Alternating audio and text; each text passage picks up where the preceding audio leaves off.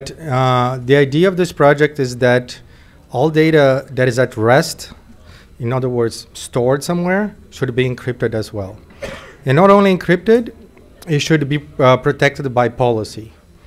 So let me go through um, the idea. So the idea is that uh, every time you share, you want to share file or you want to share contents with somebody, uh, the, the content itself is always encrypted. And in order for another person to have access to this content, he not only needs to have uh, access to the content itself, the file or the, the, the, document or the database, but also the encryption keys and pass a policy verification. So uh, what we're doing in, the, um, in this hackathon is that uh, before the hackathon, the, our mode of operation is that the encryption is the encryption is done in the cloud. So what we did in this hackathon was to move to uh, decentralized encryption in the sense that all encryption and decryption is done on the client itself. Go ahead, one minute. Okay, so this is the demo. Basically, uh, I wanna, um, I'm Reynaldo. I want to share a file. I go and um, get the file. I encrypt it. I ingest it. Basically, put HTML shell around it, and I share with you know put in Dropbox. I go to another to a colleague and send a message or or, or and, and, and basically says this is where the file is. Now, having access to the file itself does not mean that the person can uh, view the file. So basically, nobody can go and put a USB stick and walk out of a company or send an email by mistake, right, with the uh, uh, plain contents of the file. So in the case of my colleague Alina, downloads the file, the file is still encrypted. In order to see the file, she, she needs to consult a policy server that's going to establish her identity. So there's an identity server. It's going to establish whether she has permissions to see the file. And she, if she has permissions to see the file, then she gets the encryption keys and then decrypts the file. Right? So when she does any modifications to the file and she publishes the files, the files back, the file is also encrypted. Right? So basically, the rest of the presentation is basically uh, our demo. I'm not going to go through it given the time, but you guys can flip through it, or we can, uh, I think maybe we're going to uh, present uh, later in another opportunity. Um, and I think that's it. That's, uh, that's wrap up for my presentation, my three minutes. What did you, what did you do this weekend? Yes, so that's what uh, the problem is we're doing all the decryption and encryption in the cloud itself, in the cloud provider. So what we did this weekend is we moved the decryption and encryption to the client, to the PC. So the keys, instead of being in a key server, I mean, they're still in the key server. Instead of the key server or the identity server doing those encryption, decryption of the assets, we move that decryption and encryption to the client itself. And the client itself is part of the ecosystem as opposed to the cloud provider doing most of it. The cloud provider does not have access to the keys. The cloud provider has a key. The there's a key server that can be on the cloud provider or inside the enterprise, right? All right. Thank you.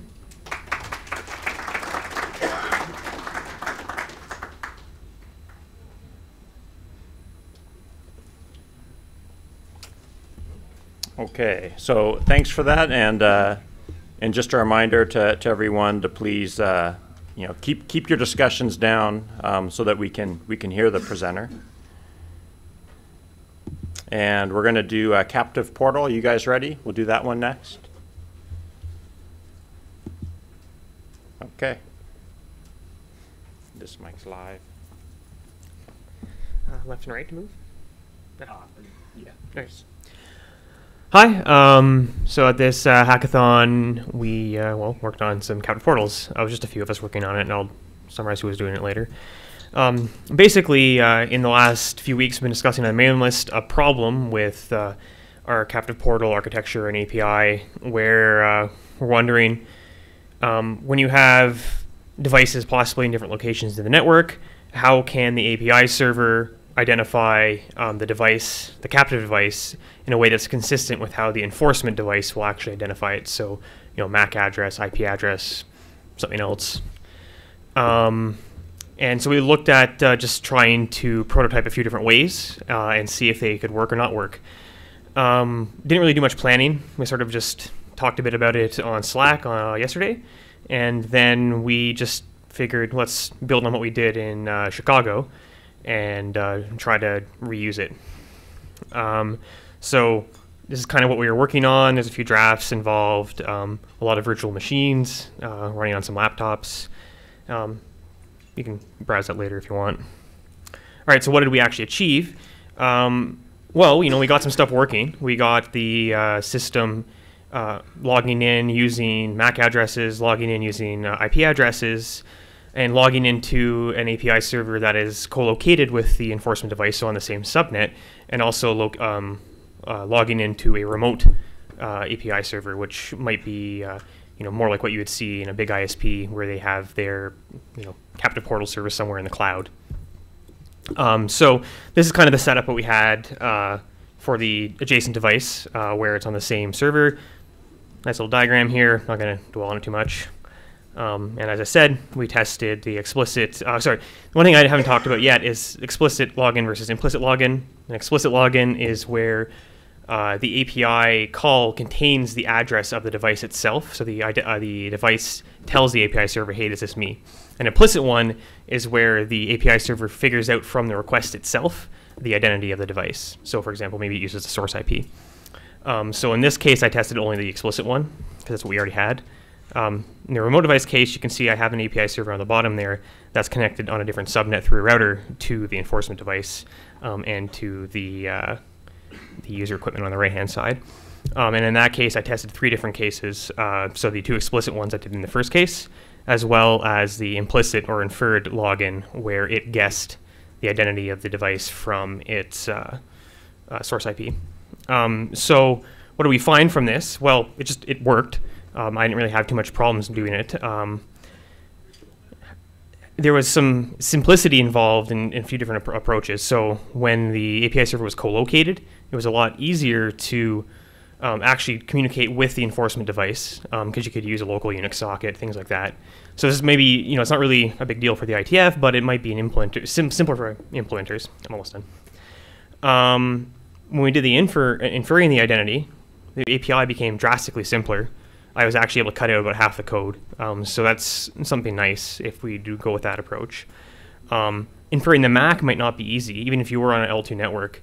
I don't think most HTTP, HTTPS uh, frameworks really let you have access to the MAC address or L2 address of the uh, client. So you probably have to do some magic and you know, ask the kernel for the ARP entry and things like that.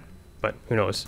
Um, and then I accidentally realized that uh, if you're inferring the identity, the API server needs to be on the same route as the portal, because otherwise you're going to go to maybe you say you have two IP addresses, you might take a different, um, might communicate to the API server on the wrong IP address, and bad things happen. Um, so did that accidentally. It's good findings, you know, for maybe requirements we can feed into any API like this. Um, so who worked on this? Myself, uh, Kyle, uh, Tommy, um, Alexander Roscoe from Comcast, who was remote, and Donald Eastlake uh, was helping me out as well. All right, that's it.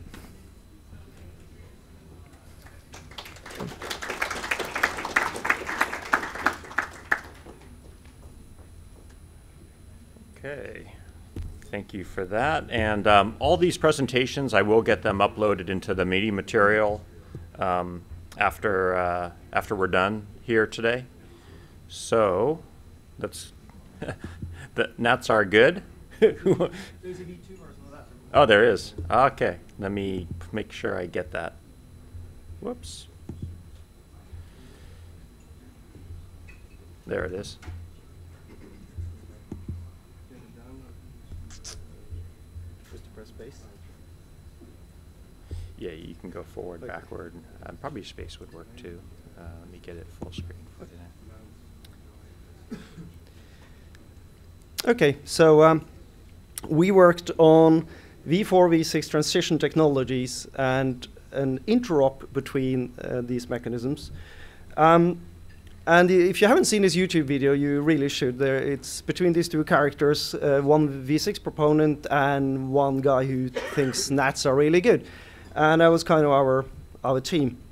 So we wanted to test if the new internet would work which is v6 only plus NAT64 to reach the legacy internet, or if we can keep the old internet working forever by just extending v6 and making these v6 um, sharing mechanisms um, work. And we had a, a, big lab network we wanted to set up, and the um, expectation was that we would get something looking like on this picture. What it ended up looking was more like, well, it was exactly like this actually. So we had um, 12 uh, routers, switches cobbled together, lots of VLANs, lots of static routing, and I think we spent the first six hours uh, trying to get all this um, this to work. Um, so what we did when we had fiddled with all the v6 addresses and mistyped them a hundred times, who made v6 addresses this long, I don't know, but it was a not a good decision. Um, first time interop between um, uh, one open source implementation of DSLite and one from Allied Telesis. We did interoperability between uh, NAT64 leads 464XLAT, Lightweight 46. Uh, so two open source implementations and, and the Allied Telesis one. Um, during this, we implemented sort of missing pieces as we went along. Uh, Pierre did a DHCP-v6 PD client. Uh, we worked on a stun library, uh, which did address synthesizes and, and NAT64 discovery, so that could work behind uh, a NAT64 in a v6 only environment. And we fixed lots of bugs. And uh, as a second sort of thing we did, we tried to verify that applications worked behind all these uh, strange mechanisms that has come up. On v6 only plus NAT64, there's a few thing interesting findings. On the iPhone, which has a very defined ecosystem forcing v6 only support, almost everything works. On the laptop, most stuff works. Um, you can manually synthesize NAT64 addresses, that works. And there are a few things that, that doesn't work that we have to go back and work with you know, vendors and open source projects on. But we did test quite a few applications. Most of it did work. Um, what we learned, building these networks are really, really hard. I mean, we thought V6 should be just plug and play. It, well, um, and these V6 addresses are long to type. And what we've done with NAT64 prefixes, where we sort of split the V4 address all over the space and put you know this funny U octet in the middle. That was a poor idea, I think we should fix that. Um, but at least we got to fix a buffer, buffer overflow bug that we found in, in that process. Um, we tested NAT6 44444 by accident because the IETF network has a NAT in it. Um, that also worked, and no one noticed until they sort of fine looked at uh, the packet traces. Um, media still works point to point, even behind all these NATs and these mechanisms. And of course, these sharing mechanisms are just, just more v4. So uh, we think the future should really be v6 plus NAT64, but that does put new requirements on v6 hosts. They have to do NAT64 prefix discovery. They have to synthesize addresses, you know, from to deal with v4 literals, and have to support um, DNS, a local DNS64 on the host to be able to do DNSSEC uh, for validation. Um, remaining work, well, can we make v4 run on a single port? I'm not going to say more about that. And this was the people who were on the project from various um, few newcomers, newcomers both to Hackathon and IETF, and a few old timers. Pierre has won four times, and I think he's banned from ever winning again just because he's hoarding all the prizes. But uh, thank you.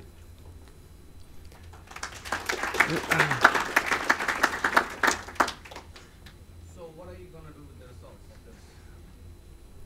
Um, so we're going to have a discussion on 6052. We might have a discussion if we should put something into V6 node requirements or in a similar document to at least have an IETF statement of what we think is expected from an IPv6 only host. Because we've been focusing only on an IPv6 only host with no connectivity back to V4, right? Because that's been assumed to be dual stack. But I, I, I don't think that's where we should go. I think we should go this way, and I think we should Buh. Yeah, doesn't it? No. No, now it works. Yeah. As I, as I said to, to Suresh, um, we have to look at V6 node requirements because the node requirements document for V6 has assumed a pure V6 only with no connectivity back to V4. uh, it's you know expected a, a dual stack network. I- I think if we want to go in this direction, we have to add a few of these requirements to be able to, to deal with NAT64s because that has to happen on the host.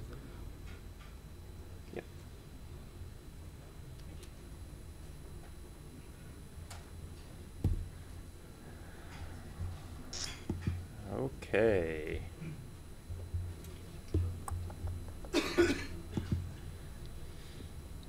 So next up, we have Acme Star. Did you guys, um, is this the right presentation? Did you upload a second one or anything? Okay.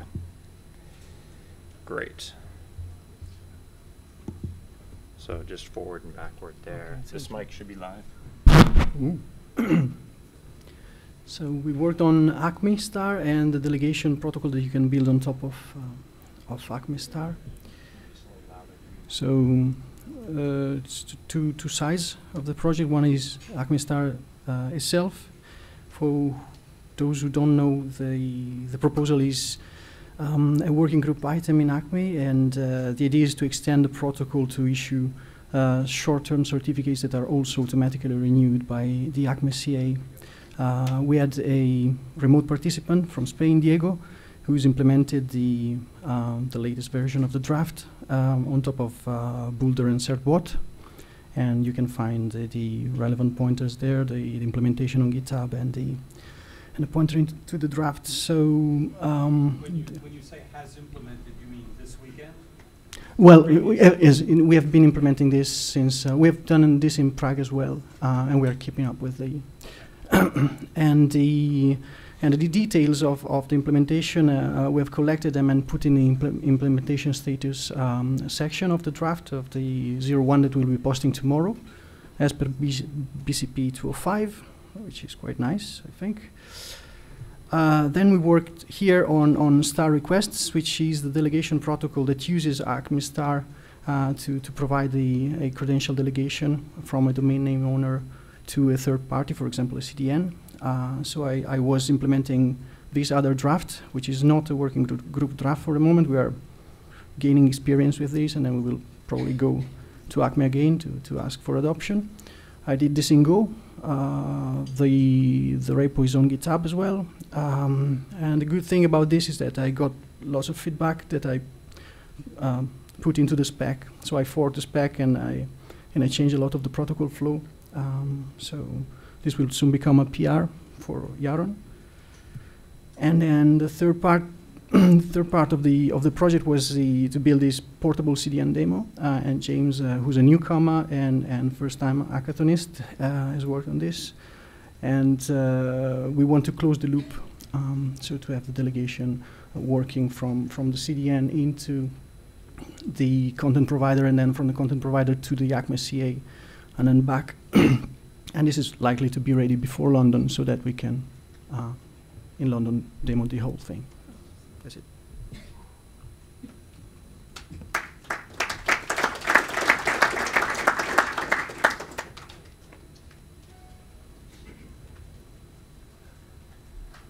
Okay, so next up is uh, IOAM. And from what I've seen, you guys win the prize for the biggest presentation.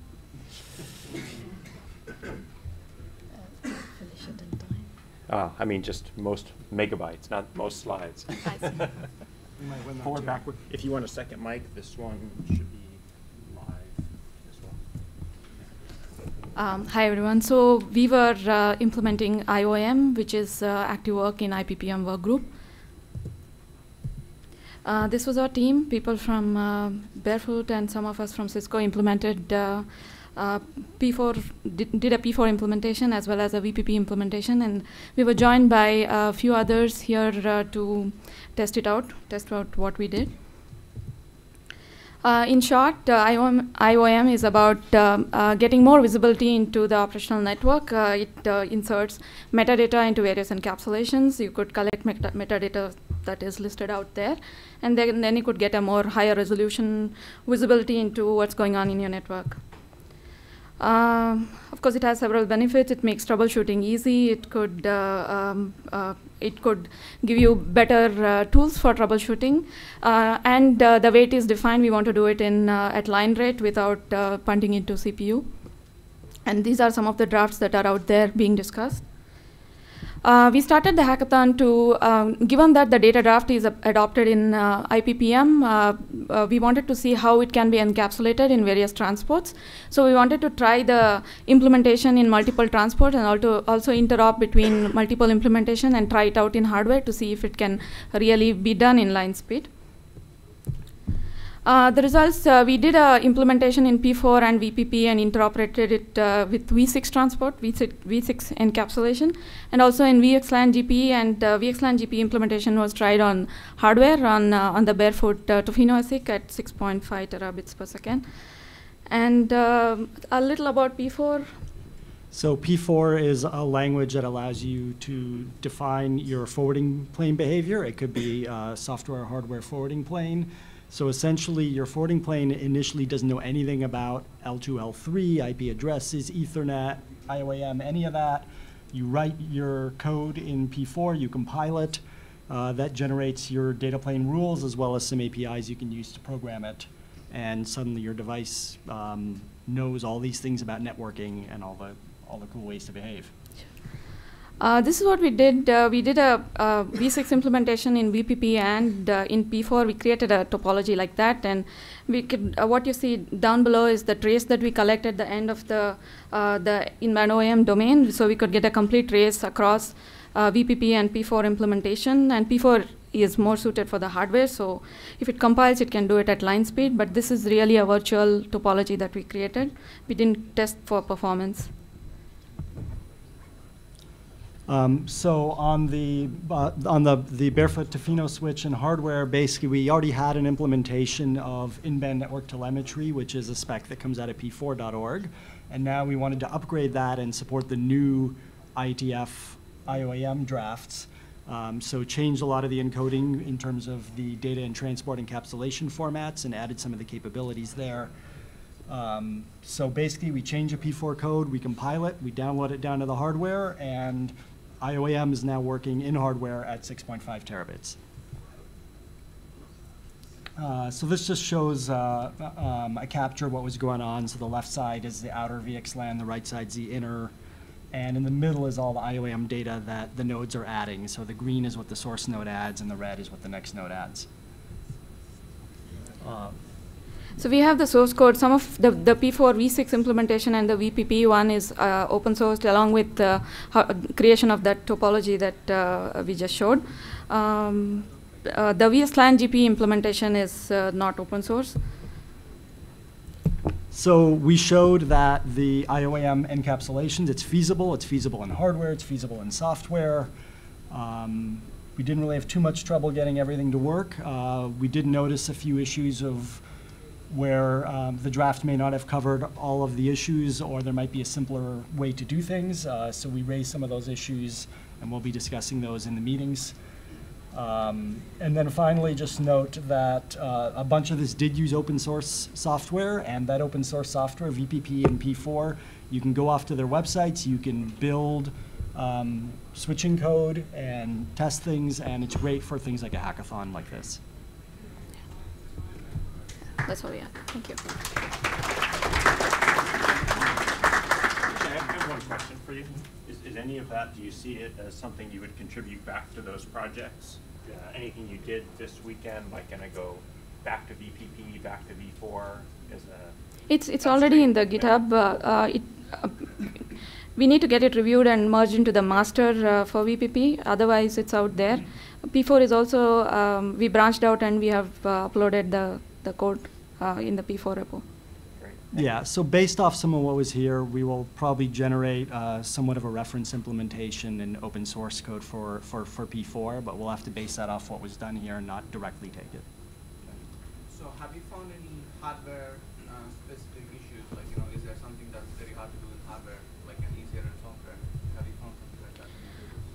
In fact, we did Yeah. uh, for the V6 implementation when we were trying to see if the pre-allocated option, it's one of the ways uh, in-band OAM data could be collected.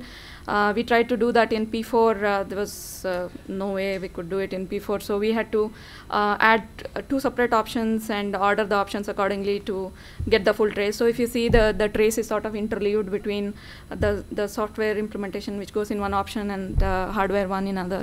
But we could order it based on a field that we have added into that. Thank you.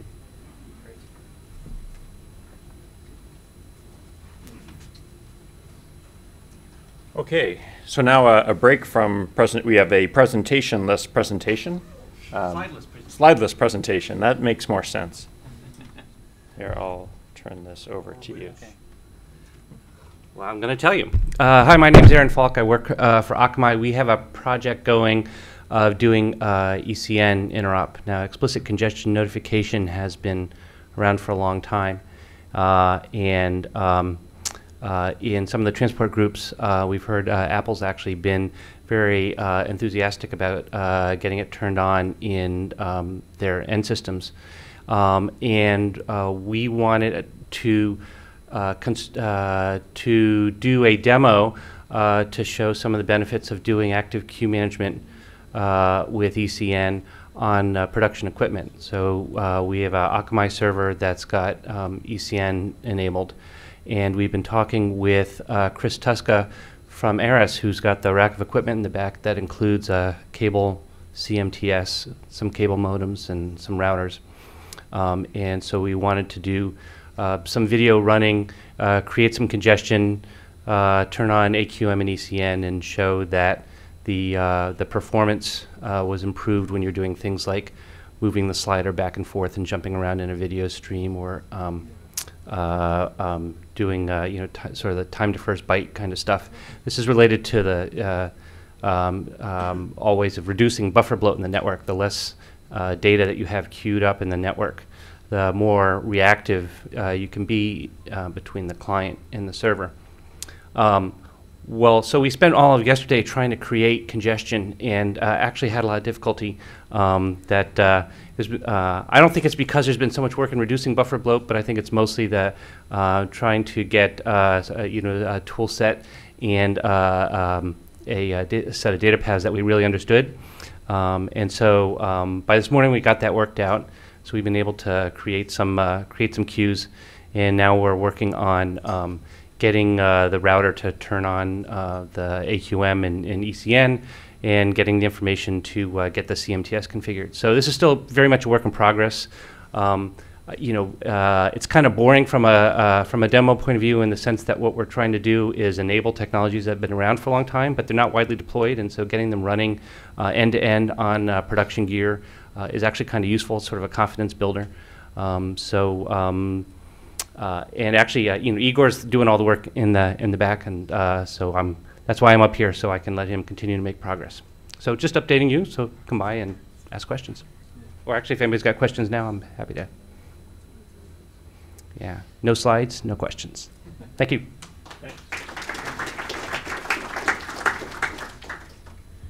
Okay, next up, I think, is the, uh, oh, where is it? I think these got reordered. Hold on. I think Sac SACM, I thought, was next. Yeah, just sorry about that. They, I knew there was new ones. So SACM, are you, if you guys are ready?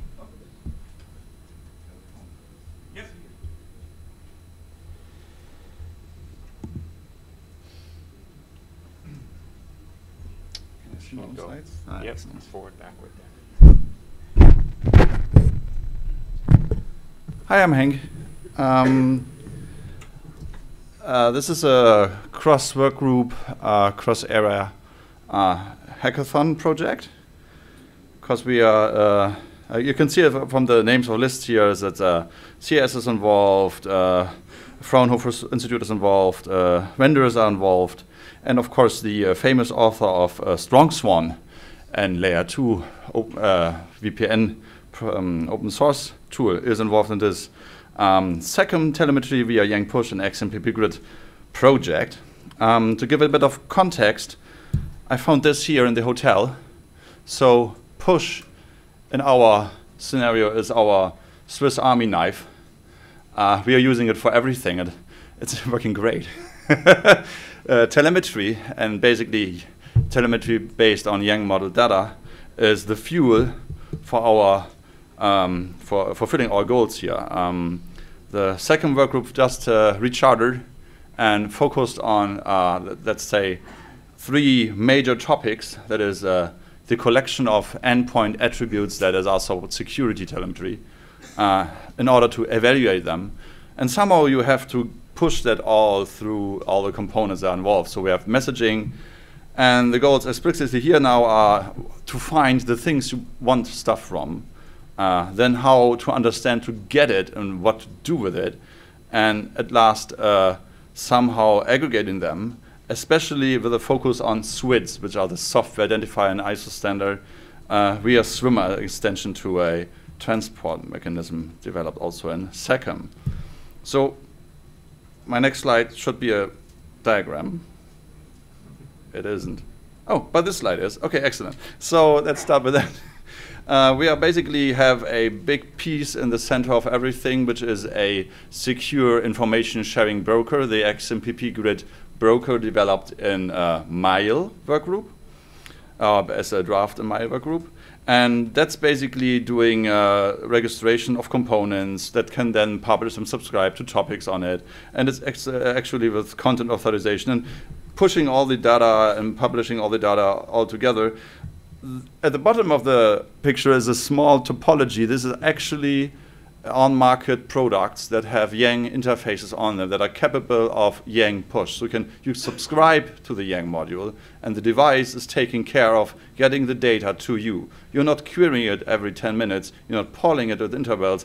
The device is doing the work for you and pushing it, what you just requested via filters, to the Yang push function on the SACM collector unfortunately, uh, not always, uh, in management it's assumed you always know what you have. In our scenario, we don't. We start with uh, step one. The endpoint discovery knows one thing. Does a Yang push to it is a step two and gets all the capabilities. Hopefully one of those capabilities is knowing its neighbors. So it gets stuff back and then starts to do another endpoint discovery with this result uh, but it doesn't know how to do it. So it does go back to the broker to get the information to actually how to uh, ask for new capabilities. Uh, this is on the left. There's another component here that there's a guidance for that. Pushes the guidance back to you. Then again, Yang push to the new things found. There are two little boxes at the bottom of the page here. And um, Therefore, you do the complete process over and over again. And while this is happening, step seven is happening. Step seven is the refinement of the information you get from all the subscriptions that you dynamically, due to discovery, established in your enterprise administrative domain or wherever. And then you finally get the interesting stuff, the endpoint attributes you're actually interested in from all the devices via the Yang push acquired and then published again to the XMPP grid broker which is then the source for everything in your enterprise, in your administrative domain that might be interested of some of it. Being it that a USB uh, serial connector was just connected to your switch, an SSH user just connected to your uh, switch, a buffer just overflowed, a watchdog for IPv6 just triggered, or whatever you want, whatever service you have that can report via a module of Yang can be then pushed to the system that is a SACM collector, which can distribute it, it, through the information sharing domain that is the XMPP grid broker. And we actually did this on time here at that table. We have a product on the table that is Yang capable, and we are basically actually receiving neighbors topology, topology changes and software inventories and that famous USB serial adapter you push into the device and then you see that someone's messing with it, maybe. So uh, there are resources for this. Uh, if you download the slides, there's a lot of interesting information there, especially in regard to visibility. On-change pushes, of course, uh, somehow inhibit you missing some interesting stuff, uh, if you would call otherwise. And now I'm talking too long. Have a good night. Any questions? no. Okay. Great. Thank you. Okay, next up, I believe, was DOTS.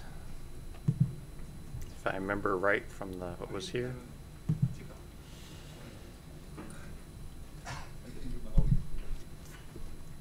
Okay, and you can just advance the slides with these guys and that mic should be live. Okay. Yeah, thank you.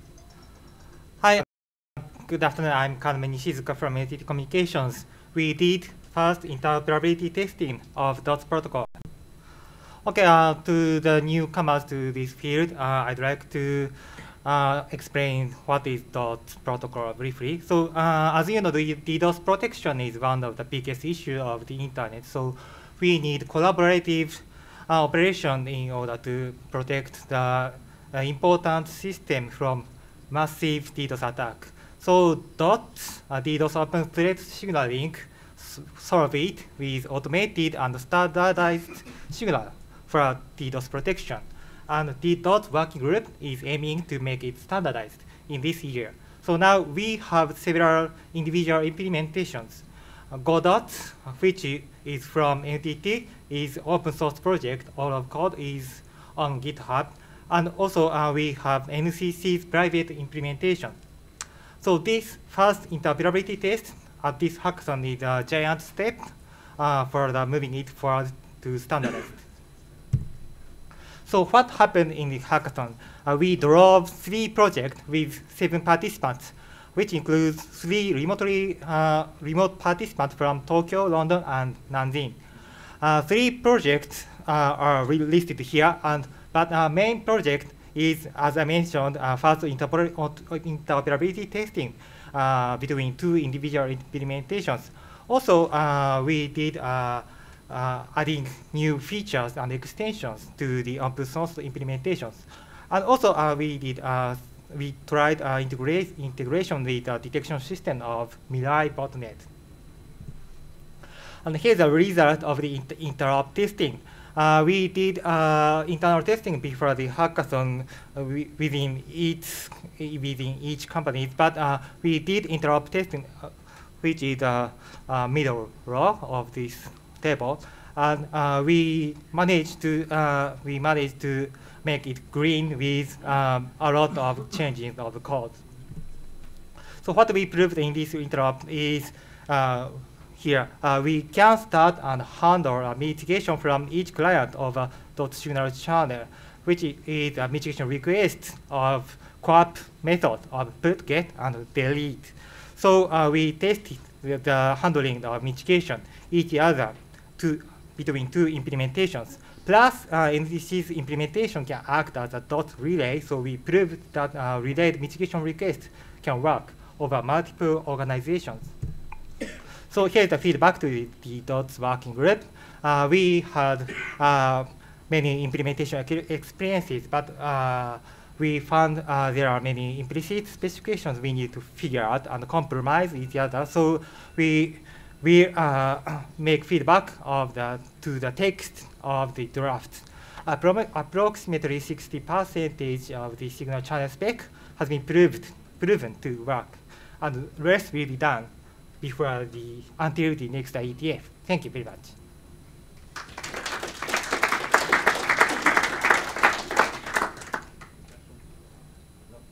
Okay, thank you. Yeah, thank you.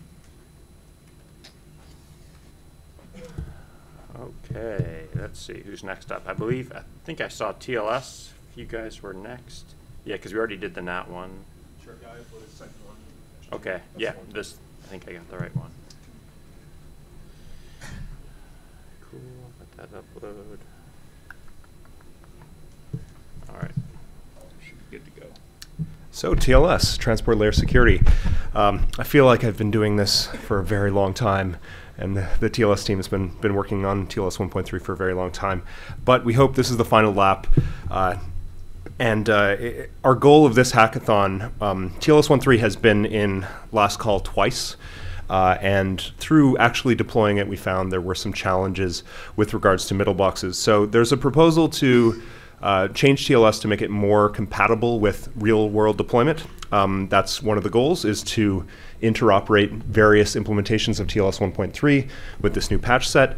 And uh, as a secondary goal, we wanted to implement TLS 1.3 in a bunch of different applications.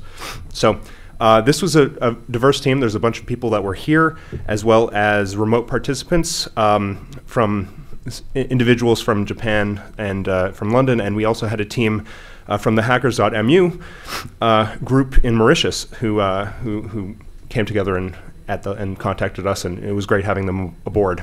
Um, so applications, uh, TLS 1.3 during the hackathon, we added support for uh, the latest draft in Wireshark, draft 21 in S-Tunnel, wget curl, a lot of these very popular uh, tools that people use to debug and to, to do HTTP and TLS inside of uh, organizations.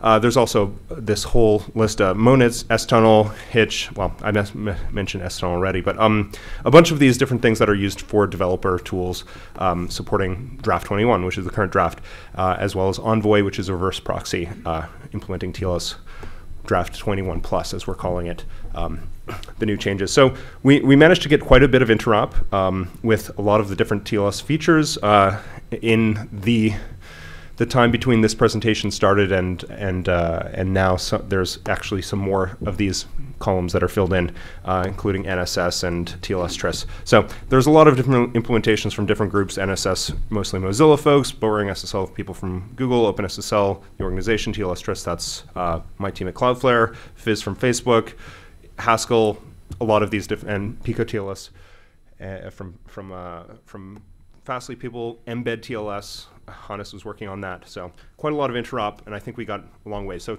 as a takeaway, TLS 1.3 is closer than ever.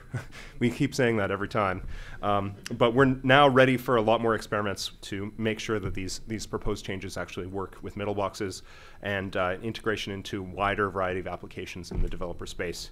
And uh, we've built a strong network of implementers who can. Uh, now know each other face to face as well as uh, can communicate together and, and you know solve problems. That's it. Thank you.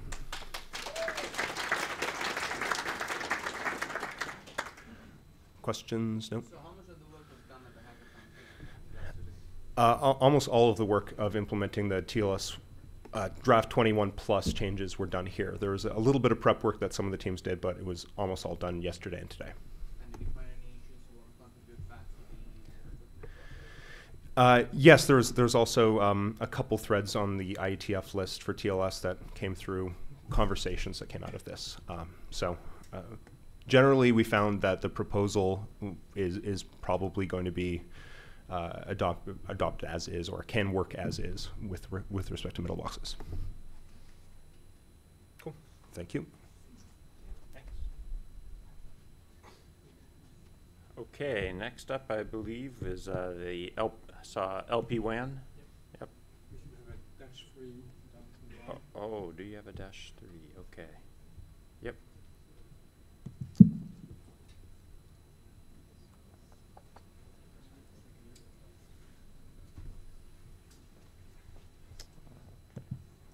Cool. You can just advance and backward with that. Okay. Hello, I'm Dominic uh, with Orange, and the work I'm going to report uh, relates to the LPWAN working group, um, and more specifically to this draft. Um, so in L- uh, LPWAN, we're interested in uh, carrying IP, IPv6 uh, over uh, LPWAN technologies such, as uh, LoRaWAN and Sigfox and very low data rate, small payload type of radios. Uh, so basically, we do compression, um, and that's already agreed. And we have uh, built an implementation in the last uh, hackathon. Uh, but in some cases, for example, uh, the IP packet doesn't match the pattern, pattern that we expect for compression, or even the, the compression residue is too big to fit in, in an L2 payload, so we have to do fragmentation in addition. So what we did uh, this weekend is uh, work on the fragmentation side of things. So our goals were to prove uh, the algorithm that we described in the draft, uh, also to agree on what we think we have described in the draft. Um, and it was also to provide reference code that people could use later on to build their own implementation, maybe more efficient in terms of memory or computation, whatever. And also allow performance evaluation because eventually the compression efficiency will be obtained by having very smart rules and so uh, designing good rules means we have a, an engine to, to run it uh, on. Um, so yeah, basically uh, fragmentation was originally described in text in a draft and it's been a couple months uh, since it was described and discussed and we uh, were still discussing. And uh, we had, you know, people came with what if, what if, what if, and it became more complex and we started drawing state diagrams like this ones. And we think, we really think now we need to implement that and have running code. So that's a team, uh, six people, three from uh, academics and government uh, institutions and three companies. Um, so what we did this weekend was uh, implement this uh, fragmentation reassembly code that didn't exist before. Uh, we implemented in Python 3, mostly Cedric and Shoichi with Inria and Cisco did the uh, uh, development work and the other members providing the infrastructure, the LoRaWAN network, gateway devices. Those uh, devices run Python, MicroPython natively. Uh, and also we did a little update to the compression code that where we did it last time. Uh, we did some testing uh, over the LoRaWAN network and also in order to speed up things because we were running late, Cedric and Shoichi uh, run uh, over UDP, transmitting just the fragments over UDP. But then we don't see the losses, the delays, and all that stuff that we want to see. So what's next? Um, we'll have a side meeting along the working group meeting this week to nail down this uh, fragmentation reassembly thing. So uh, the results from this hackathon will provide food for thought at this meeting. Then we'll integrate fragmentation and compression and eventually uh, hopefully converge on the draft quite soon. And as I said, run performance evaluation and design smart rules for CoAP, ICM PV6, etc. Thank you.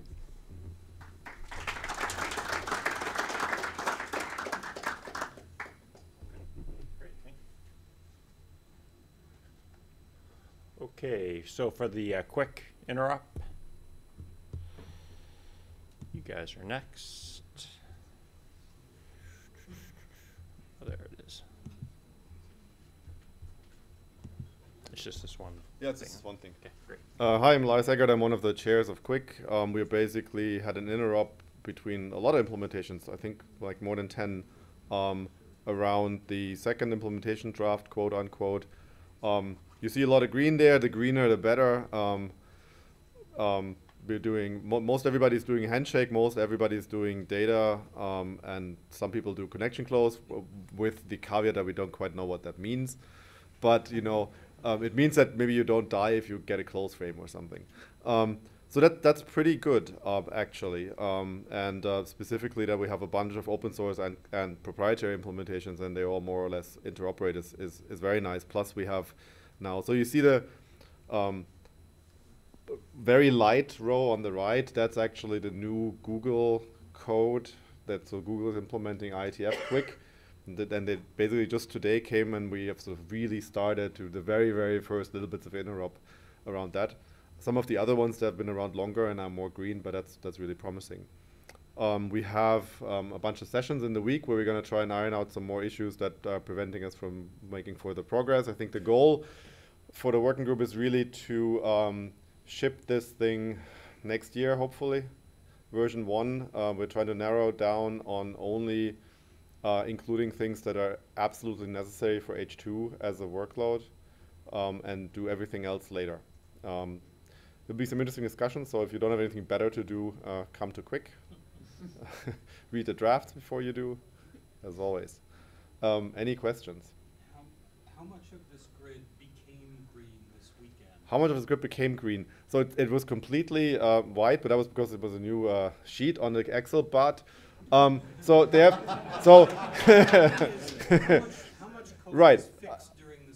So um, dra draft one, which was, was the last sheet we did, um, and draft two don't interoperate, right? So so basically everybody had to start from from zero, even to get the handshake green again.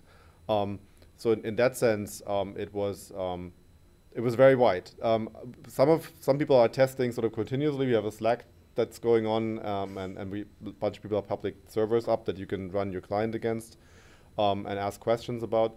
So uh, we knew that three or four of them were more or less interoperating because people had been testing, but I would say more than half um, sort of really sort of uh, used the interrupt to uh, try things and haven't really done anything since the last one.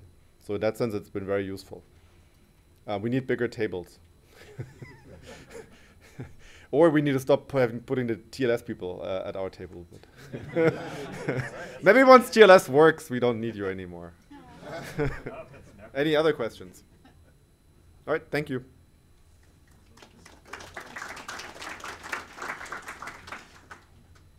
Okay, next up is I2NSF.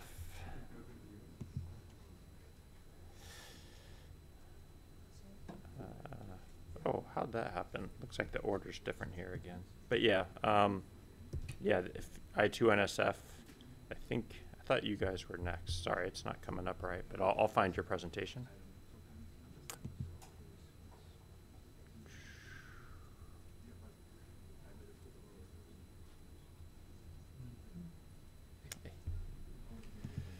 Okay, all yours. You can just go forward and back using these things. Okay, yeah. Uh, hi everyone, uh, this is Hwang from Sungkyunkwan University in South Korea. So uh, I will give you a brief uh, presentation about uh, I2NSF pro project at this time. So I2NSF uh, uses NetConf, RESTConf, and Yang data model to provide standard interfaces for efficiently managing heterogeneous network security functions. So in this project, we try to demonstrate uh, I2NSF framework, including the standard interfaces, uh, can be realized using open source software. So this work is a, a student project which involves uh, seven graduate students at Sungkyunkwan University. So uh, this is a brief overview of uh, I2NSF framework. So uh, basically, uh, I2NSF, I2, uh, I2NSF user uh, specify the high-level security policy of the security requirement they want and uh, send the high-level policy to the uh, security controller through the consumer-facing interface. Then uh, the security controller uh, translate the high-level policy into low-level policy for specific NSFs and update the configuration with the low-level policy of those network security functions. So uh, this is the basic procedure.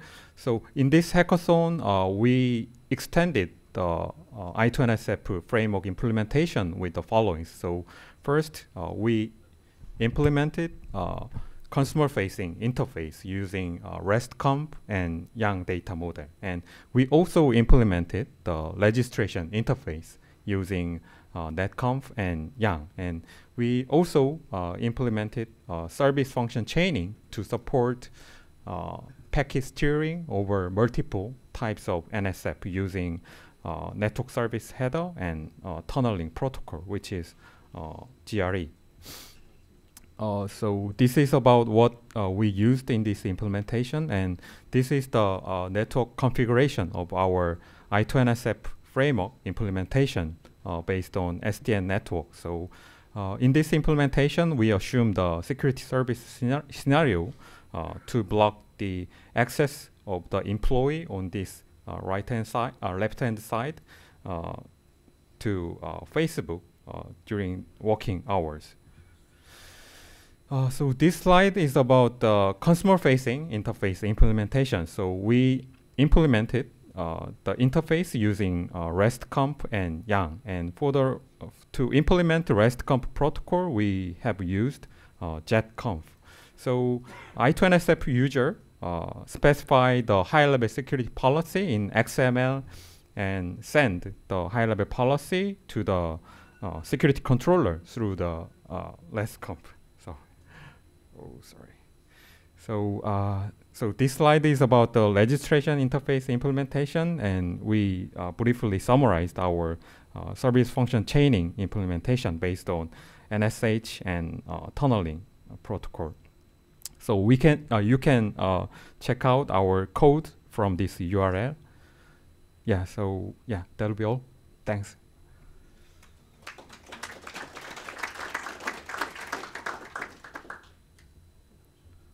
So how much of this is at this hackathon? Because there was also a project last hackathon, right? That I do understand. Yeah, yeah. So as I mentioned, uh, ah, yeah. So as I mentioned in the uh, beginning of this presentation, I uh, we uh, extended the existing implementation with the uh, consumer-facing interface part and registration interface part, and we also improved the service function chaining implementation using network service header and tunneling protocol part.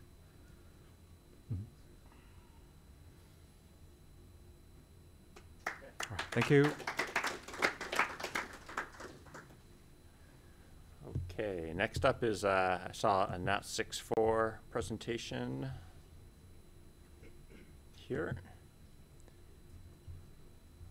And uh, just to reiterate, I'll, I will be uploading these afterwards, and I'm also going to share, there'll be a link where those of you who want to do a demo type presentation on Wednesday, we'll have time for you to do that too. So, uh, you can go forward and back. Yeah. Hi. So it's a work. We forked one table into two because we realized we're testing slightly different things for different uh, reasons. So this is a test I've done with the great help of IETF NOC. Thanks for that. So the, the goal is to see how useful is IETF NAT64 SSID because it's here, but apparently not many people using it. And we do not know why, because people are being lazy or because something does not work or some other reasons. So what we try to see uh, is kind of estimate the impact for getting work done on IETF network. So we selected a set of applications mostly partially randomly or based on the previously reported issues. So we want to see if anything which was broken before is now getting fixed. And it also NOC helped me to create a troubleshooting environment so we were able to get in TCP dumps and so on. So um, it's how it looked like. So gray means was no reason to test or doesn't make any sense. Orange means uh, ne still needs to be tested because I got some issues with Microsoft uh, setup. And red means some issues been discovered. So basically everything which need we need to participate in IETF working groups like Meetecho, Jabber, Etherpad seem to work. Even Skype works, because I've heard some reports about Skype no, not being able to work on NAT64 network.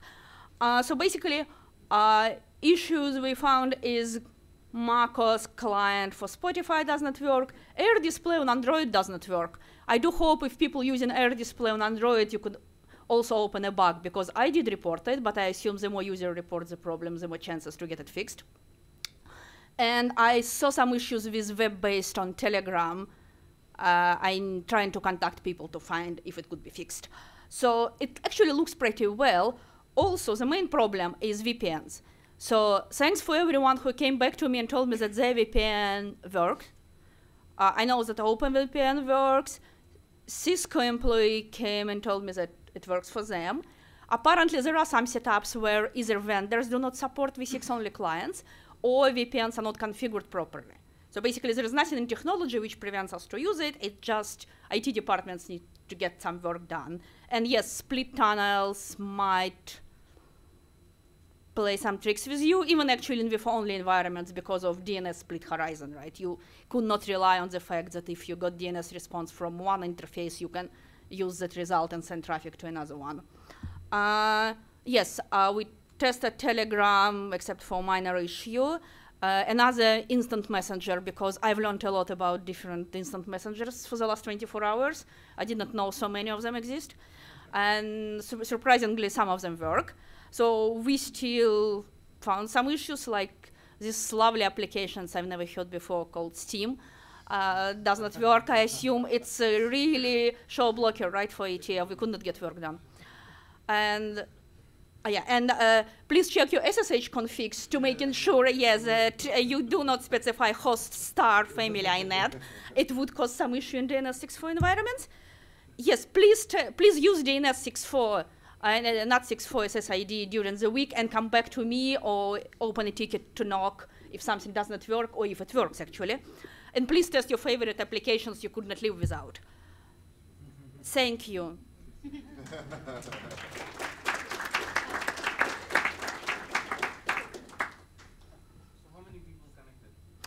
So uh, yes, I did not put it on the slides.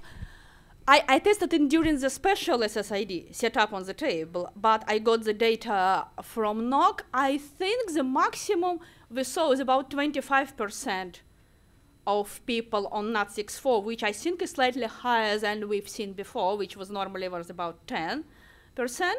So I do hope at just beginning of the weeks, not everyone uh, has read an email about NAT64 and so on, so please use it. I'm looking forward bug reports.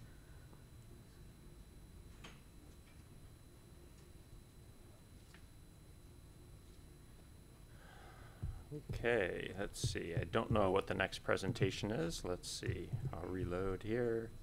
Looks like uh, Yang, I believe.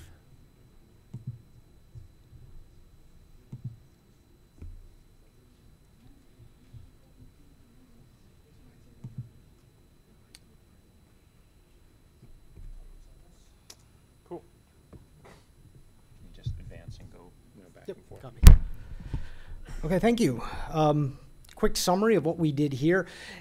You've seen us before, usually Benoit. I think I have better hair. Um, we've been up here a lot since hackathon number one, presenting on what we're doing with Yang, with the ultimate goal to make it easier for consumers of Yang modules, be it with NetConf, RESTConf, gRPC, what have you, and Yang module authors better adopt these standards. And to that effect, we actually had a new operator, new to the IETF, come to our table, and we got gave him a chance to test NetConf uh, on a, a real device. So we are actively advocating and actively practicing what we want or, or what our goals are. And this particular hackathon, this is uh, a summary of what we focused on. I'm not going to talk too much to this slide since I'm going to hear the buzzer soon, and we've got uh, details on each one of these. One of the things we've been wanting to do is integrate this thing we call Yang Suite, which is a way of using an HTML5 uh, web interface, explore and test Yang modules. And we wanted to integrate that with the overall catalog work we've been doing. And to that effect, despite the fact that I hate jQuery, um, we got that working at this hackathon. Additionally, with this uh, Yang suite, we want to be able to continue that uh, ability to build code, code that then can be used to test uh, various Yang models against real uh, NetConf or RESTConf servers. And we were able to integrate uh, the Yang Development Kit, or YDK, in with that Yang suite so that we can produce Python code uh, based on the Yang modules that you're playing with in Yang suite here, and then test those against uh, NetConf and RESTConf servers. One of the things that we're actually working with, uh, working on with the NetMod group and trying to influence the evolution of Yang standards is with this idea of semantic versioning. And as part of our Yang catalog work, we're starting to integrate a derived semantic version, which directly goes into a draft that uh, Benoit will be presenting on Wednesday in NetMod, that allows one to see whether or not a module from revision X plus 1 is backward compatible with that same module in, in revision X and be able to understand what those differences might be. Uh, we added an API to our uh, uh, regex validator. This will allow us to integrate regex validation into the Yang suite as well. Uh, one of uh, our, our, colleagues back there built a test uh, harness, test suite that we can actually test the examples that are we're putting in Yang models so that we know that those examples will actually work and people will be successful when they're using them. And finally, some of you may have noticed we've integrated the Yang catalog with Data Tracker. So if you're writing Yang modules, you can use some of these tools uh, with uh, Henrik's help directly from Data Tracker. With that said, we always get the question, how much of this was done this weekend? And I would like to point out that while, yes, we did write code this weekend, This is a great example of, of work that has been inspired by the hackathon that continues each and every day. Beyond this hackathon, it will continue tomorrow, it will continue well until we're in London. This work has evolved and we continue to bring new people into it uh, both here. As, we use the hackathon as a checkpoint, but the idea is we want this project to succeed no matter what it takes, no matter how much time it takes. Thanks.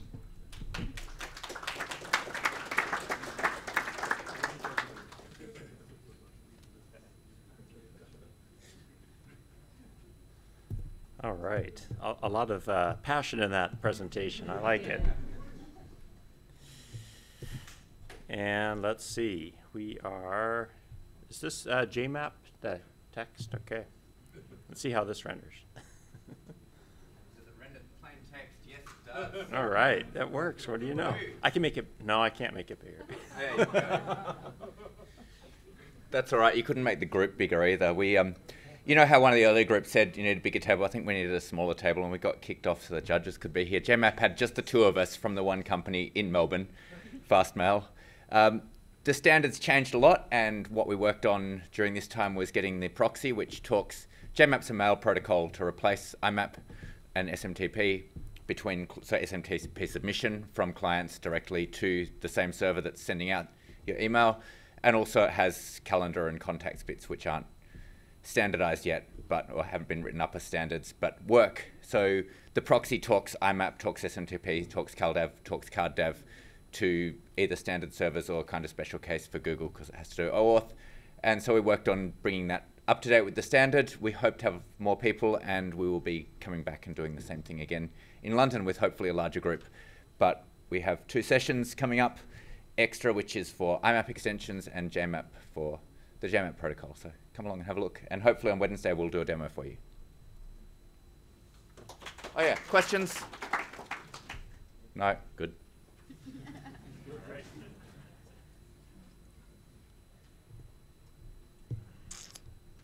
All right. So next up, looks like public public interest and the uh, 451 stuff.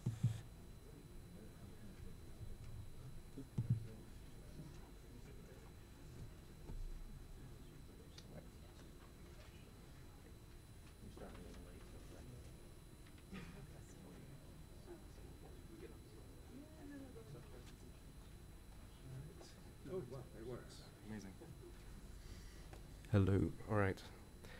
Great. So um, we've been looking at uh, uh, human rights considerations for protocols and uh, the kinds of problems that can arise, sometimes unintended consequences of uh, protocol design. So we've been looking at um, uh, RFC 7725, which is the 451 forbidden HTTP status code, and this continuation of work we're doing in Prague at the last IETF 99. Um, so if we have a look at um, uh, what we've been building, this is all built, uh, almost all of this has been built at the hackathon, 99 and 100. And we've been uh, building three separate modules that uh, one of them crawls content um, on the web and looks for instances of uh, the RFC 451 legally withheld code. Now, um, if we can find instances of this, we can see which authorities are trying to block content and which companies are complying with that. And that can help us uh, improve the design of the protocol so that, um, uh, so that it, it doesn't get misused for blocking content that should be protected as free speech. Uh, in addition to that, there's a browser extension, which Shivan is going to tell you about. And uh, there's also a CMS, which was mainly done at IETF 99. So uh, all these feed into the collector. And the collector, I suppose, is, is a key part of the work because it combines different sources of, of measurements into, into one data set in real time. So we're using a real time framework for this. And our goal is really to, to track how people are using it so that we can fix and improve the wording. So it, it's kind of taking research and uh, turning it into an implementation first approach. Um, you can read more about it in the uh, this month's edition of the IETF Journal as well. There's a piece on uh, the human rights work and the protocol work. So um, this is the uh, information architecture, which I won't go into too much detail on, but you can see that ultimately the output is to support uh, those universal rights, uh, including freedom of expression and freedom of assembly. And how do we do that? With our running code and uh, through our data and metrics that we've collected uh, here. So, right, on to the drafts. Yeah, so apart from writing software, we've also been writing. So this, um, so these are the three drafts that we've been working on and updating uh, this weekend, and they'll all be discussed in um, the research groups and the working groups this this week. And apart from these three, we also submitted. Stefan submitted an errata to RFC 7725 as, as well. Uh, yeah. Hmm. And yeah, just in case you forgot our names, they're again they're over there. Yeah, you can check out our GitHub. And also, there's a live uh, dashboard, which currently has uh, all our un- uncut, unfiltered uh, findings. So um, get it while you can, if you like, uh, because we're probably going to need to blot out parts of that soon as we collect more measurements. That's Right. it. Thank you.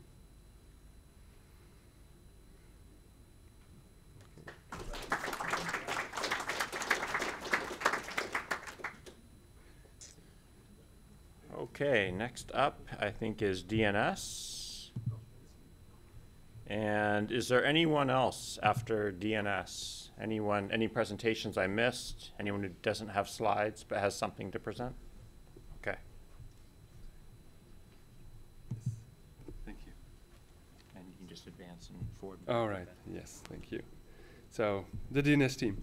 So not as big as usual. So we have uh, we were with ten people. Uh, Manu was a newcomer and the first hackathon, and Hans Seidel was uh, first I- hackathon uh, participant. And the other usual suspects in the DNS.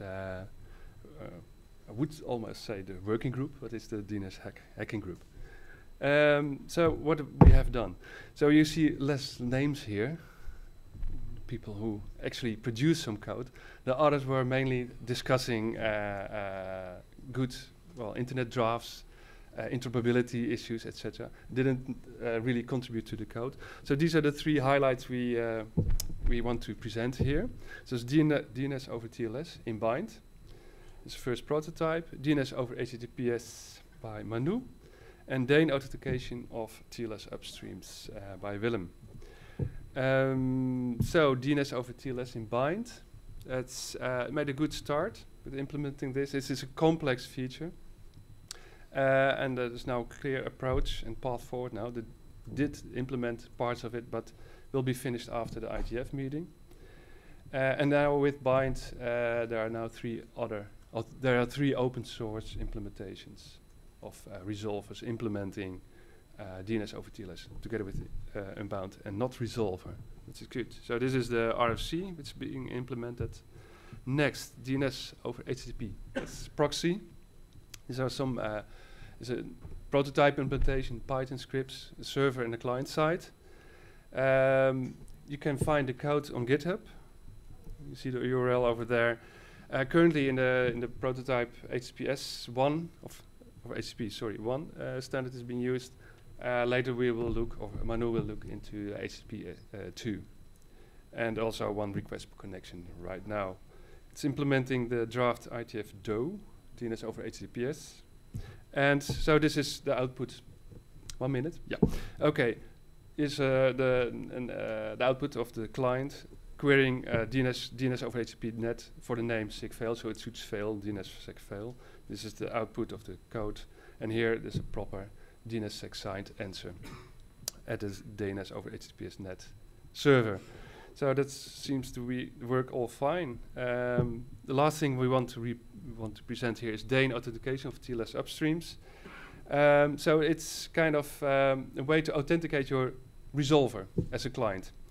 Um, what it does, you get ns1 meeting.org, meeting itf.org, the name out of band by uh, Warren. So he, Warren Kumari, uh, created this, the TLSA record for the IETF here this week. It's out of band given to the resolver. Uh, opportunistic, it context, it resolves a name and context opportunistic over TLS, the resolver, and asks for the TLSA record and does a DANE authentication of the record. And then you have an authenticated TLS connection with your recursor. So this is implemented, uh, almost finished. Will be finished before Wednesday uh, during the cloud. Uh, sorry, the the Code Lounge uh, uh, Wednesday afternoon for demonstration. Yeah. Uh, did I miss something? I think that's still. Yeah, that's about it. Thank you. Any questions? No. Thank you.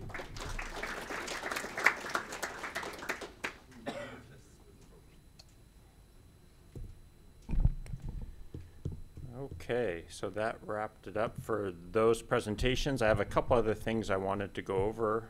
Um, judges, I guess we'll, we'll leave it to you to, uh, to figure your stuff out. If everyone could just kind of hang tight for, until they do. Um, so I'm bringing up a, a couple things in, in this deck that I just wanted to, I think it's mostly stuff I, I talked about before, but just things to remind people. Again, I, I will take all these presentations and, and upload them. If you have anything else you wanted to update or change about them, you can let me know later on and I'll update it. It'll all be in the, uh, the meeting material for IETF 100 Hackathon. Uh, that link is, is in the, the wiki. Um, okay. The Code Lounge, I think it, we heard mention to that. Um, there is a link on this slide, but I think also it's been shared via the, the list and it's also on the wiki.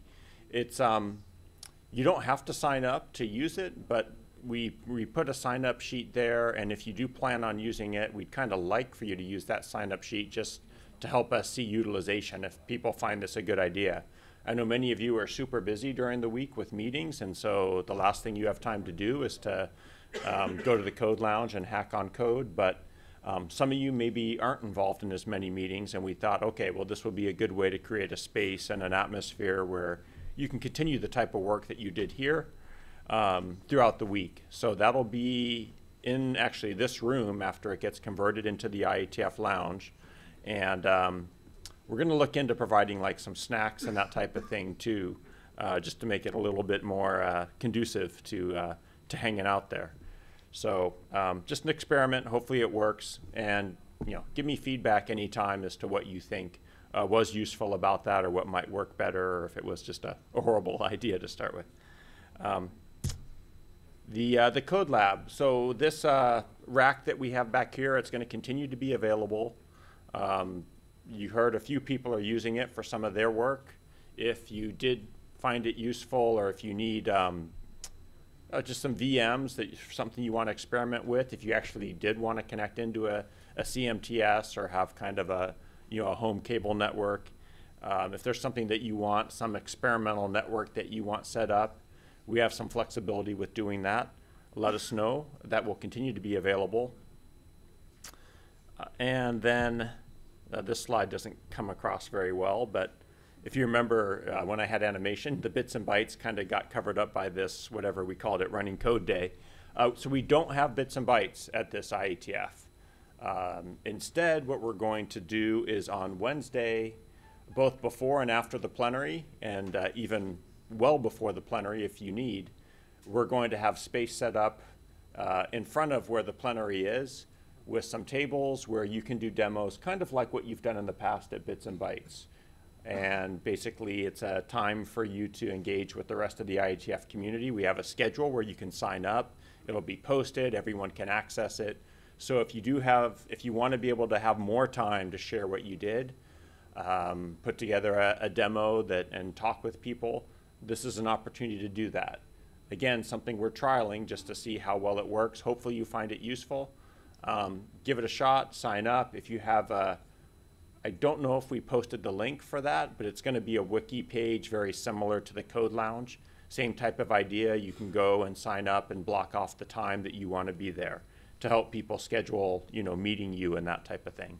So if you do want to do it, I encourage um, you to, you know, look look for that wiki. Come see me if you don't find it, and um, let people in your working group know that you're going to be there and, uh, and make use of that. And as is shown in this slide, it's going to be right in front of where the, the plenary is. Uh, anything else? Oh, uh, thanks again to our, our sponsors. Um, while you're waiting for the judges to make their decisions, if you want to have a look at the, the stuff up here on the table, um, feel free to do that. There, there are some nice prizes. And uh, I think that's about it for things. Um, I know we, I think we probably, uh, we did a little bit better with shirts this time around. Last time they, they didn't show up till well after the hackathon. Um, this time they, they were actually here. We, we did run out, but um, you know, one thing I think it's it's fantastic to see so many people here. We had well over 200 people in the end actually um, sign up, and we're because we had people helping us at the door. We're going to get a count for how many people were actually here. Uh, that's fantastic to see. Um, this has become very popular, which I'm I'm thrilled with. It's also hard though for space and planning purposes for for getting shirts, for getting food. So um, when you start to see the uh, the registration for the hackathon, you know, come out, please uh, sign up early. Um, I mean, don't sign up, and if, if, if you're not going to come, you can always pull your registration down. Just keep that link. You can cancel your registration. But it helps us if you sign up as early as possible so that we can get an accurate count. We can do our space and food planning and all that. And um, it, it, just, just makes it a, a better, better experience for everyone, and hopefully we won't run out of shirts. Uh, another thing we're going to do is, uh, um, actually, no, let's take a break. Alissa, you're here. Um, we're going to let uh, Alissa, our IETF chair, uh, talk with us a bit too. So thank you very much. Yeah, um, thanks. So, yeah, one one thing that I'm working on is deconflicting the IETF leadership meetings from the hackathon so that um, more of us could actually uh, come. And I'm sorry that I missed the presentations because I had to be in a meeting um, next door. Um, but uh, it's it's just fantastic to see the the turnout, uh, the growth, and the participation in the hackathon. Um, very very exciting for an organization um, that uses rough consensus and running code as its tagline, uh, but has often been criticized for uh, the lack of the latter.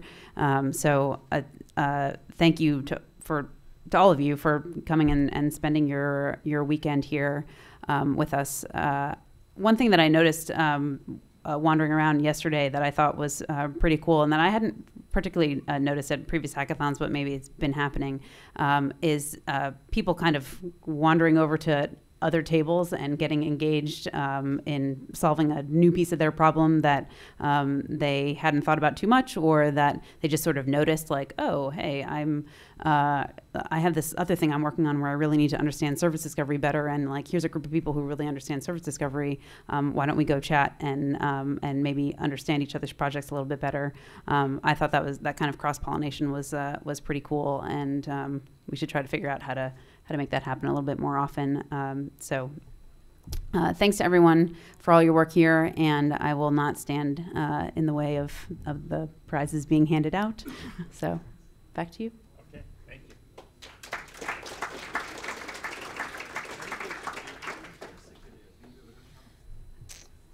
you. Okay. Um, so while we wait for, for our judges, you guys uh, obviously made it tough for them with uh, so many great presentations.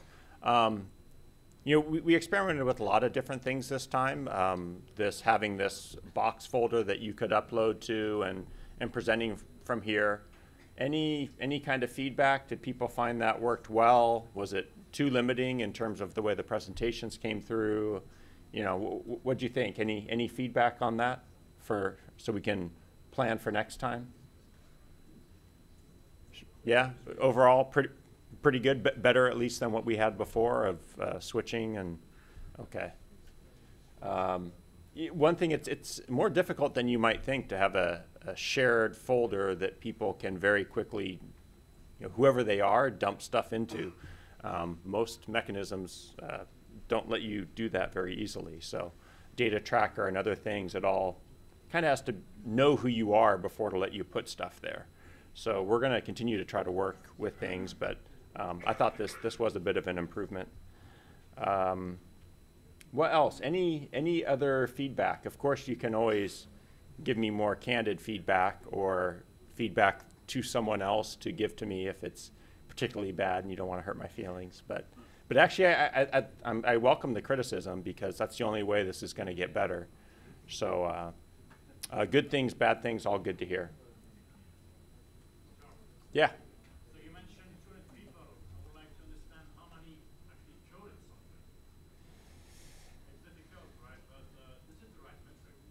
Okay. So you want to know how many people here actually wrote some lines of software while. Yeah, okay, well, let, let, let's see a show of hands. It's gonna be hard to count, but I think you'll get a sense for, was it most of the room? So, so a very good number. That, that is fantastic. Um, congrats to all of you. And thank you. But, you know, at the same time, I do want to um, point out and I want to encourage people to come who, who aren't going to write any software. Um, one of the things we try to promote with the hackathon is that it, it is a good way to learn a new area. It is a good way. We do like having people here who are um, experts in, in the field if they're just very familiar with the draft. If you happen to have, be an expert at software development and with the, uh, the, the, drafts that you're writing, hey, that's fantastic. But not all of us have that skill set. So um, whatever you can bring, whether you know the specs really well, whether you code really well, whether you're good at doing uh, UI work that's going to make for a, a, nicer demo that actually shows how your stuff uh, plays out, that, that's all great. Um, Alissa mentioned the working across teams. That's one of the things I love about this hackathon. Um, it's great about the IETF in general, and I think that spirit carries over to this, where you see teams helping each other out. And uh, that's kind of a tricky thing with the prizes. We actually got some pretty good prizes here, so we, we, we see that all of you work really hard regardless. It's not a hard thing to get people here motivated. Um, we like the prizes to be something nice for you to take away, but um, we, we, certainly don't want to lose that collaborative spirit because that's one of the most important things here. And welcoming new members in and taking time to bring them up to speed. Uh, those are all things we, we really, really like to see.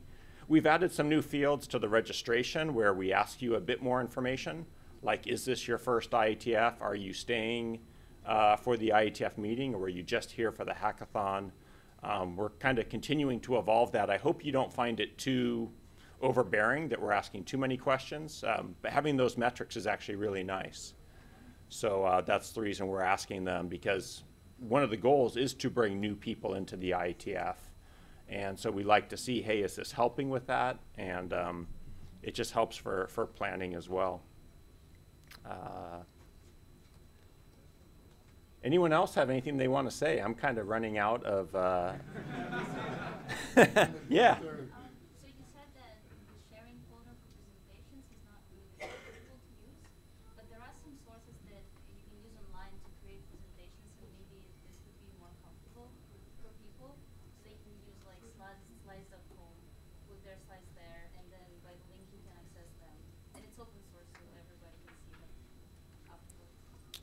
Okay, yeah, maybe that's, um, let's, uh, help me to take a look at that afterwards and.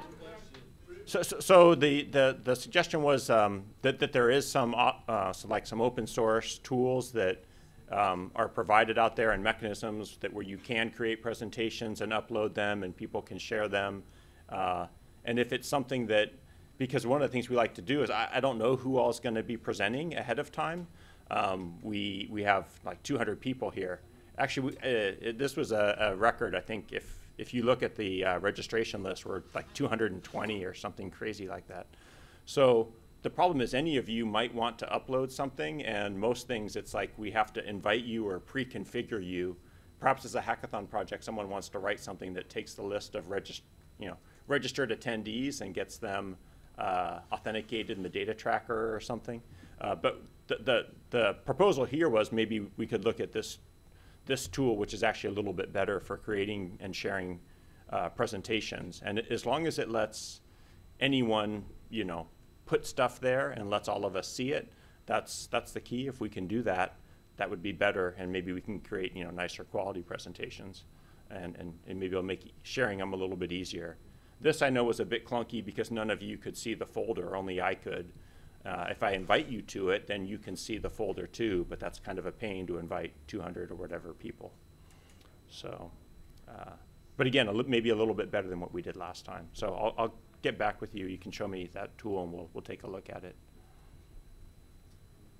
Uh, and it looks like uh, our judges are coming back, so. Yeah, thank you to our judges. Are you going to do the announcements? I will. Do you need to present anything? No. Okay. I just need to talk. So yeah, thank you to the the other three judges besides me. I guess they are all new judges. Uh, Greg, have you judged before? No, so yeah, we're all, they're all new judges, so particularly thank you for, for coming in and doing that. Okay, we have a lot of interesting stuff going on here. Um, I think this was a really good hackathon. They're all really good hackathons. I think this one was probably the best one. We had more participants than we've had at an Asian uh, hackathon, and, uh, and we really got a, a lot of good work done. So it was hard to figure out which ones to give what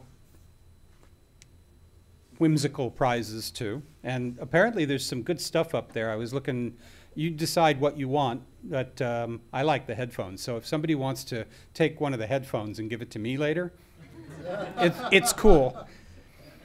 And there might be a prize for you in a future hackathon if you do that. Anyway, best overall project we gave to DNS. Uh, they've won this before, and they consistently do a lot of good work at the hackathons. So the DNS people go pick up your. Well, first we got the photo op. Who? Where's the photographer here? Yeah. Okay. So we'll do a photo op, and then you can go pick your prizes out. Um, you get first pick. And while they're doing that, uh, for the next one, we, we took the two tables that had split themselves up, the IPv6 tables, and we put you all back together. So there's the IPv4, IPv6 transition stuff and the NAT64 testing, and we gave you together best input for the Scotch Scotchboff to the universal deployment of IPv6. And thank you for the work leading in that direction.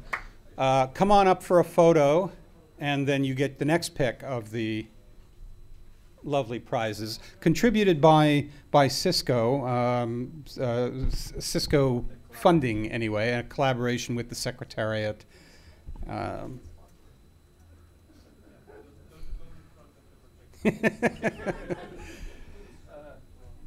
Next up, we put uh, we we gave our Korean colleagues the um, the award for best student project, I2NSF group.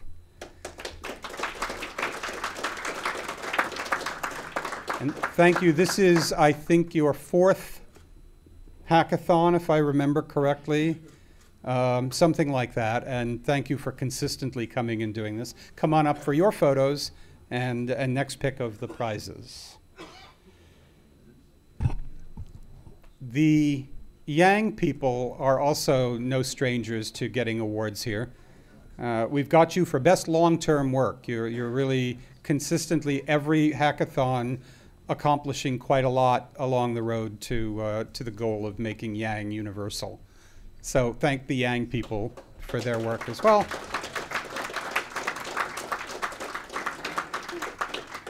And queue up for your photos, uh, including the guy whose hair is better than Benoit's. So, I, I personally like Benoit's hair, so I don't, I don't know what you're about.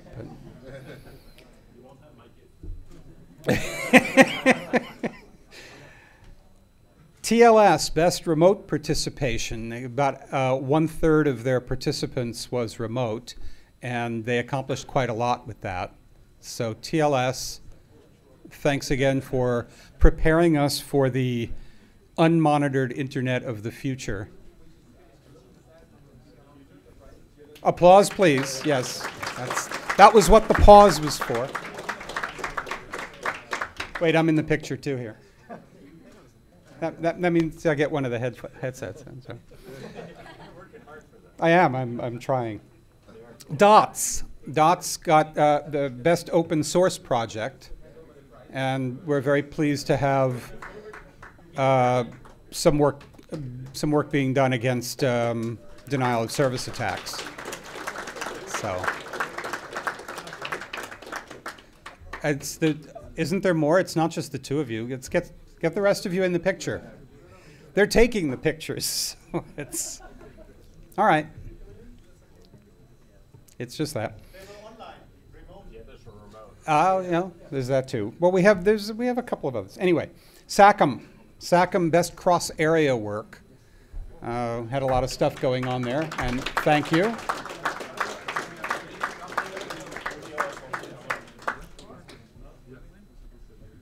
I think you have to queue up for the camera here. It's, uh, Camera's doing well. It's the prize picking. uh, the prize picking is getting Here's the TLS group getting their pictures taken. And we, we have one more, so don't go away. We're just pausing for the backup. Say TLS.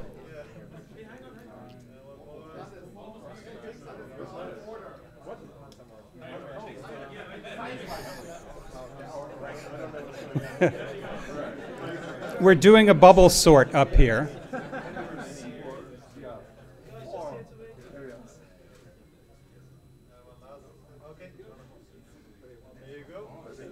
All right, and, and we're still queued up with the SACM people.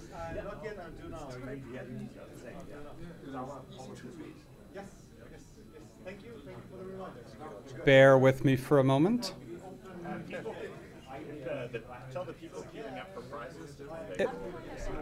For the people queuing up for prizes, please move over toward the wall so that there's room for the picture taking.